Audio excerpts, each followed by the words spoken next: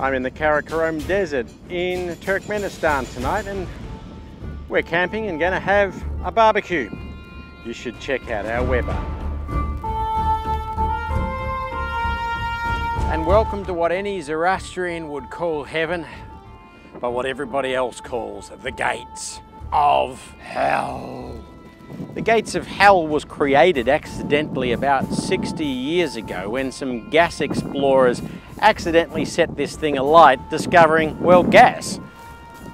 Rumour has it that the current president wants to put this out, so he continued gas exploration. But I got two pieces of news for him.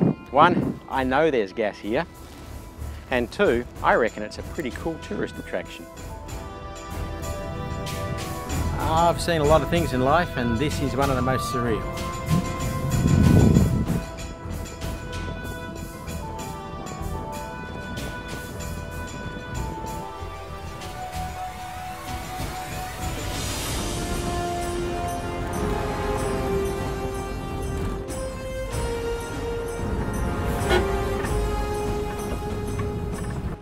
I bet most of you have never heard of it, but over my left shoulder looks like some pretty solid sand dunes, but in fact they're not, they're walls from a civilization which at its height some people say had 1.5 million people around the turn of the millennium, around the year 1000.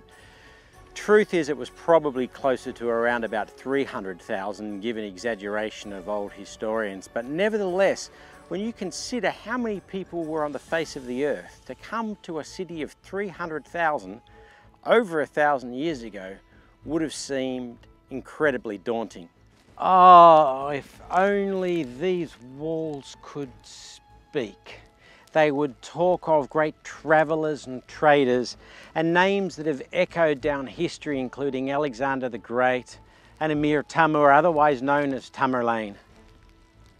They've overseen some of the great events, these walls, and they would talk of the Great Silk Road because these walls, these walls are an ancient Merv in modern day Turkmenistan, which was at its height one of the largest and most powerful cities in the world. I'm standing what looks like an old sand dune, but in fact it's the citadel of old Merv.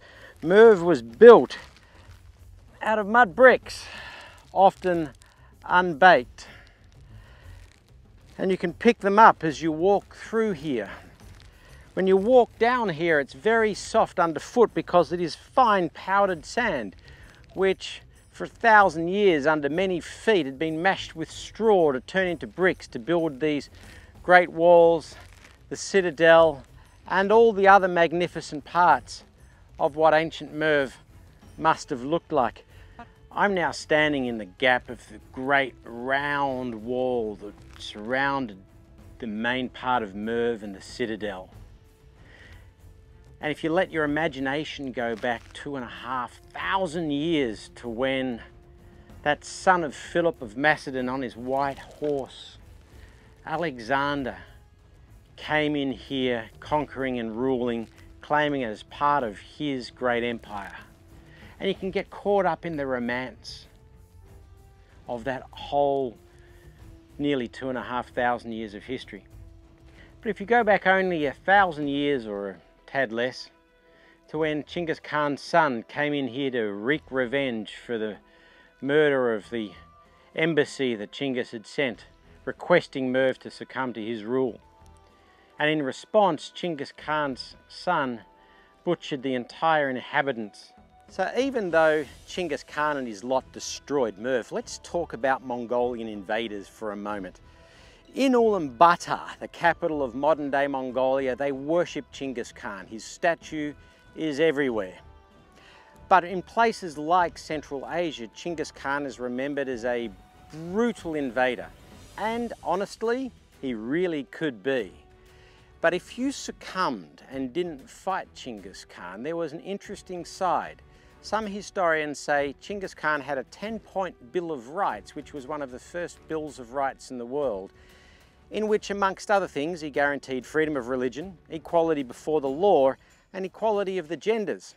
So if you succumbed, you could actually have a pretty benign life under the Mongolian rule.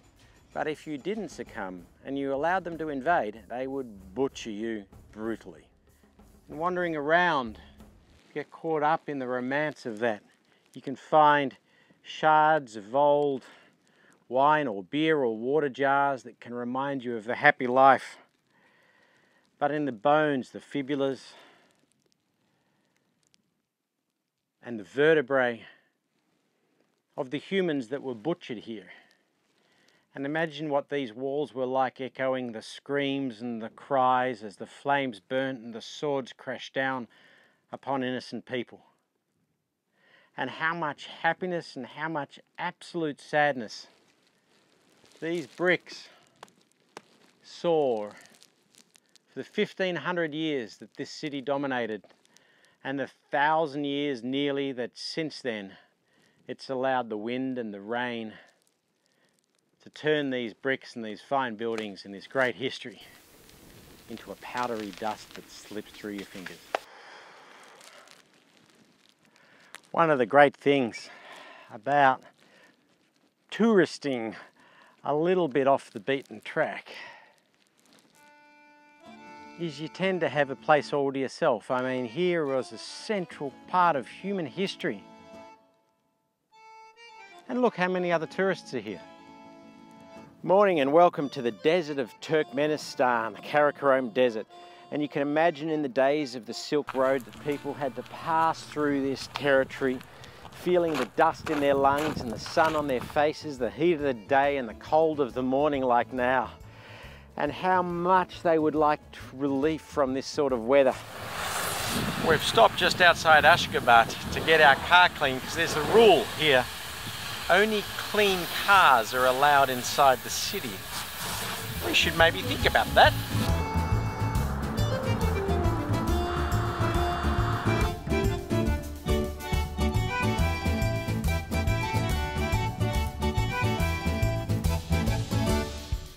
Welcome to the gleaming new capital of Ashgabat in Turkmenistan. I say gleaming new, but it was initially a trading oasis holding on to the edge of the Karakum Desert until the Russians decided to make it the main trading post between Persia and Russia, I don't know, about uh, 150 odd years ago. It then grew as a city became the capital of the Turkmen Socialist Soviet Republic in Soviet days, and following the collapse of the Soviet Union became the capital of modern day Turkmenistan. In the intervening period in 1948, one of the largest earthquakes ever known hit here around about 9 magnitude on the Richter scale, about the same as the tsunami or the Fukushima earthquakes, and it completely flattened the city. After independence, they decided to completely rebuild the place and get rid of a lot of the old Soviet architecture, building it almost completely out of white marble. The Guinness Book of World Records claims this to be the best white marble city in the world. I'm struggling to think of the second. The Lonely Planet describes this architecturally as halfway between Pyongyang and Las Vegas. Having been both to Pyongyang in North Korea and Las Vegas, I don't think it's anything like the two of them. But there is some of this amazing new architecture around. I think it's more like Dubai. It is perched on the edge of the desert. You come from the dry hills down into the green oasis and surrounded by this beautiful marble. Like a lot of Central Asian new cities, it is bristlingly clean. You could almost eat off the streets. The cleanliness is taken to another level when you realise what I'm walking through right now is not a hospital ward, but a street underpass. The building of Ashgabat has been funded from the oil and gas money that this country has. About 80% of this country is desert. There's a, a cotton crop in the north on the border with Uzbekistan, draining water from the Sea, thanks to Joseph Stalin. Cotton fields like this was one of uh, Stalin's great ideas of let's use the water resources to create a cotton crop, which means countries like Uzbekistan and Turkmenistan have huge cotton crops and huge fields, and they use a lot of water, which is why the Aral Sea is shrinking and why we see a lot of salinity in the soil. But the main economy, economic driver is oil and gas, and it is the fossil fuel industry that is driving this economy. You do see in the capital here in Ashgabat a lot of money being spent and a lot of infrastructure being built. Like a lot of the other Central Asian states though, when you move outside of the capital, you can see economic development hasn't fully reached the rest of the country. Hasn't fully reached is a nice way of saying a lot of villages have, uh, still live in a way probably largely unchanged from the Soviet days. But that having been said, when you come off the hills, come out of the Karakum Desert, and you hit this white marble oasis, it feels kind of surreal. Thought I'd come to the camel market today. See if I can buy a camel.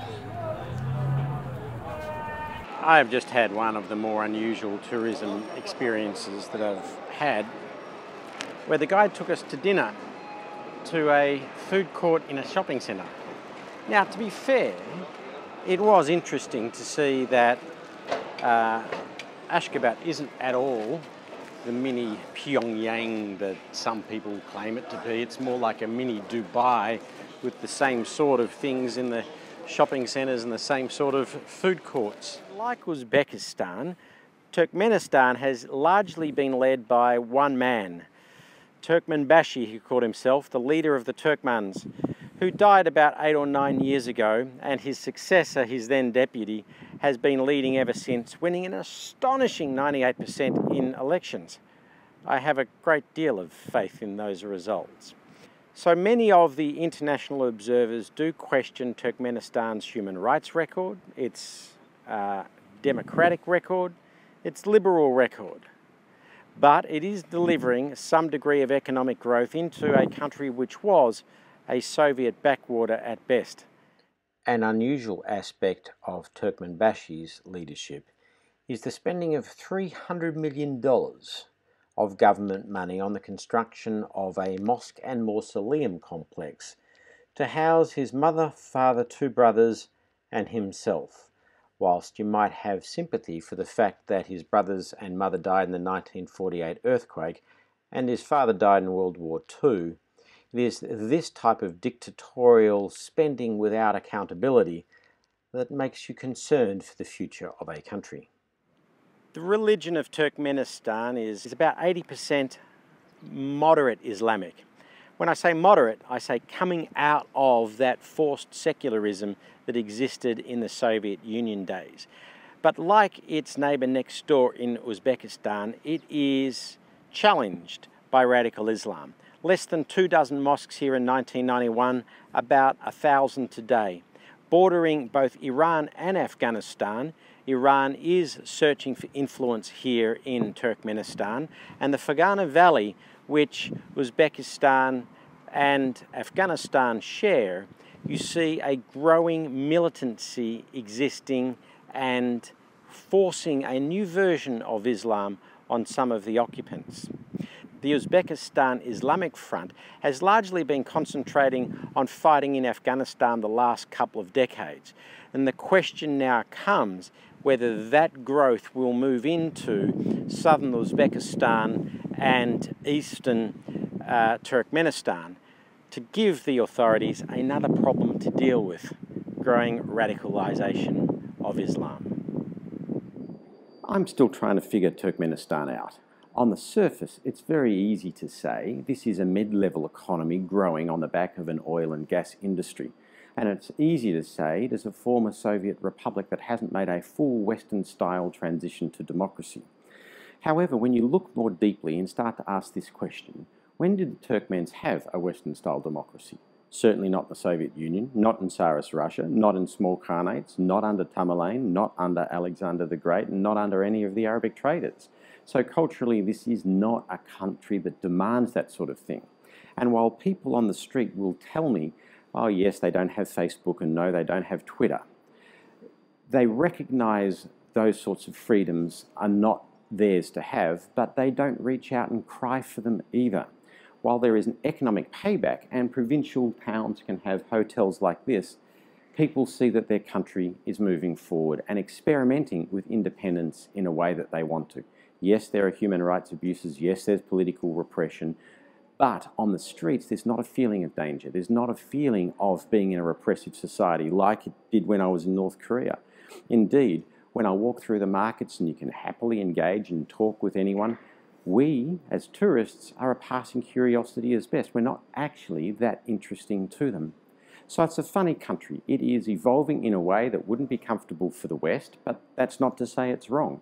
It's a country that is getting economic growth, which is good. It's a country which still has a number of challenges around freedoms and around human rights and around terrorism. But in the end, it's a country I've enjoyed, I've liked, it's got some great history, and I recommend you come to.